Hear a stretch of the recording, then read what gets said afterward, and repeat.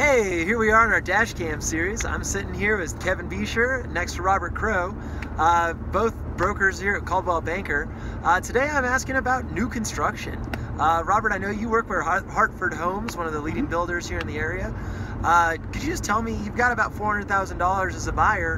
How are you going to compare new builders? Well, first and foremost, you really want to come into a buying situation with a realtor.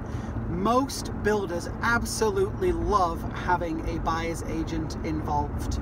So don't feel like you have to walk through that uh, through that door in that model show home without representation. Um, the builder pays the realtor, uh, so no pennies come out of your pocket. So secondly, use a realtor that has bought plenty of new construction and has taken classes either put on by the board of realtors or put on by private organizations that teach a realtor what to look for during the new construction build process. Could you talk a little bit about that process and why specifically it would be great to work with someone who's experienced with new build? You know, there are dozens and dozens of builders out there right now. Uh, some of these builders are large national builders. Um, some are local, smaller builders. Some are custom builders. And some are builders that frankly have just moved to town from Texas or Arizona because they've heard that real estate is, is booming.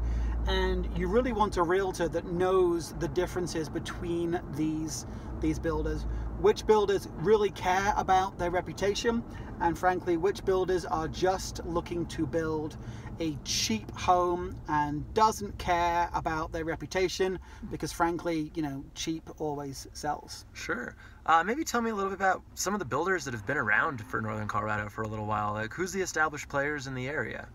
You know, um, of the large uh, national builders, you've got builders like Richmond Homes, uh, Ryland just got bought out by Cal Atlantic. You know, they're a good builder. Um, those are three of the, you know, again, very well known national uh, construction companies. Um, you then have local builders like Hartford. Um, so I'm the preferred realtor for Hartford.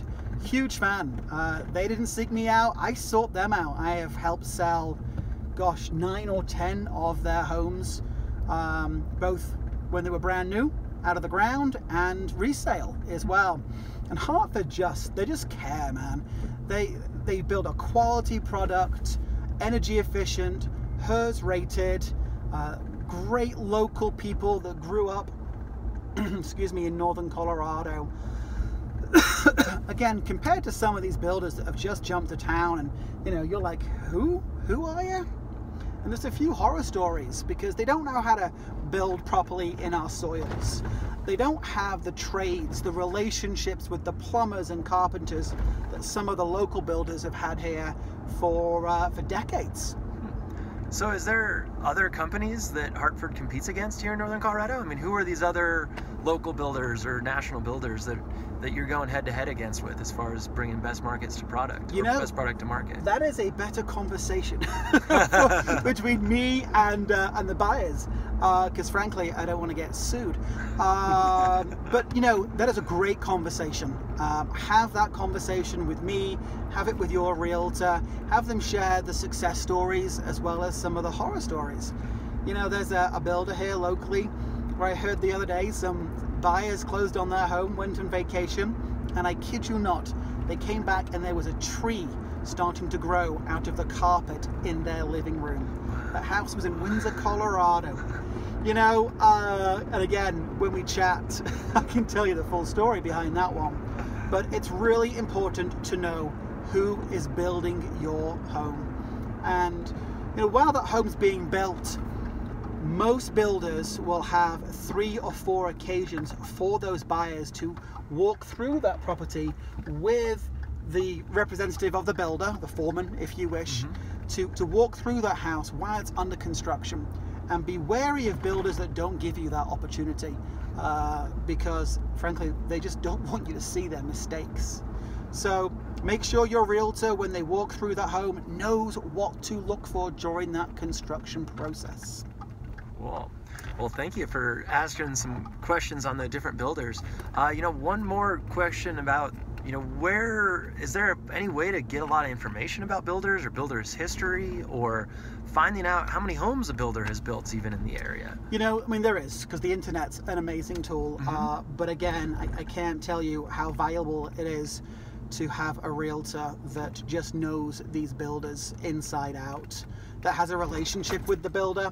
Because what happens if the builder makes a mistake? What's your recourse as a buyer? You know, with these builders, typically when you put your earnest money down, you're signing uh, the builder's contract, not a Colorado real estate contract, but the builder's contract. And it is tough to get that money back. And, you know, what if you come to buy that house and there's a problem? What do you do? Who's there to help?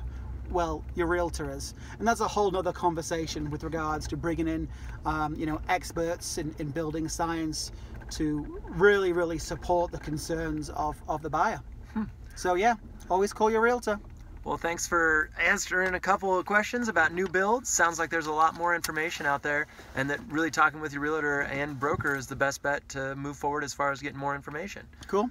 Have Thanks, a great Kevin. day. Cheers. Cheers. Bye, guys.